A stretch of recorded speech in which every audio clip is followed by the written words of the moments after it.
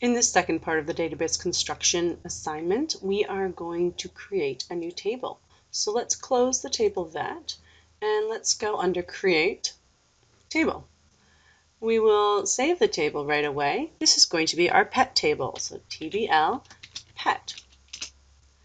And let's go into design view to create the table. First, we need a primary key, which will be our pet ID. We'll give it the auto number. And then the customer ID will be our foreign key. Here we need this to be long integer or select it from the drop down there. So the number with the field size long integer. We've got the pet name, the short text, the pet type, the pet breed, pet sex, the pet date of birth, and pet notes. We're going to use the lookup wizard to connect the pet with the customer.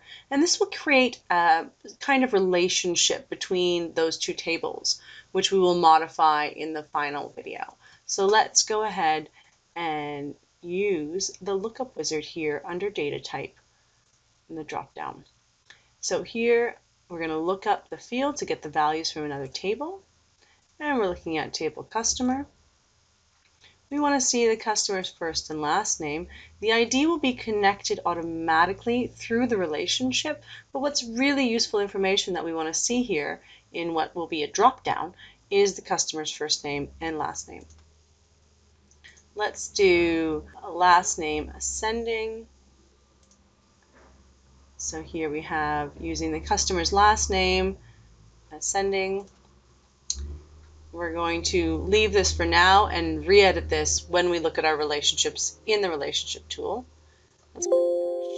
And yes, save the table.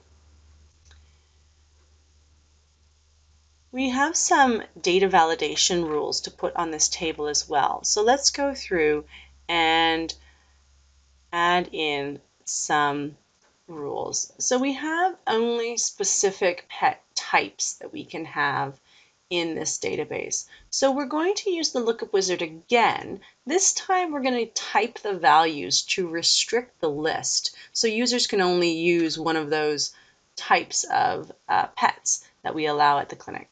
So click next, and here we're going to type, here we're going to click the type of animals that we um, see at our clinic. So bird, cat, dog, gerbil,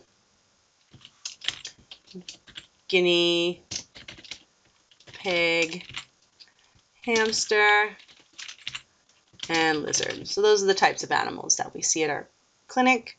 Clicking next, we want to limit it to this list. So no other pet types are allowed, and we do not want multiple pets to be assigned, pet types to be assigned to a specific pet. Only one type of pet for each pet.